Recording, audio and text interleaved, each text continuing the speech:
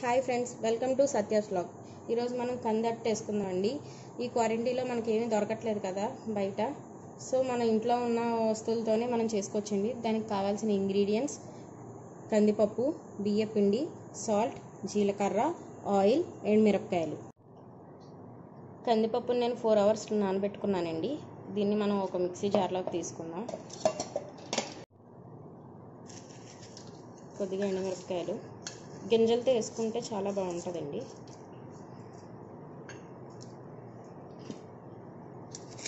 Salt.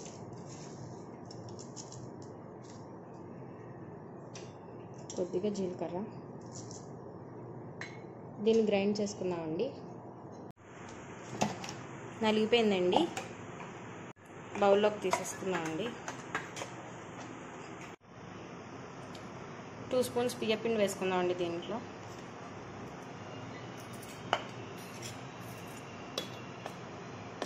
కలుపుకోవాలండి.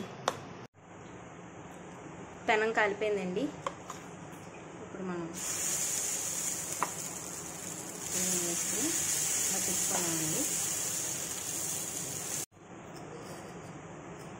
Oil వేసుకుందామండి.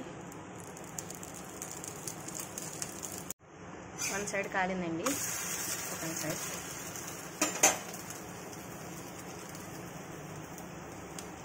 కొద్దిగా ఆయిల్ వేసుకోవాలండి. కాలిపోయిందండి. ఇప్పుడు మనం సర్వ్ చేసేసుకోవచ్చు.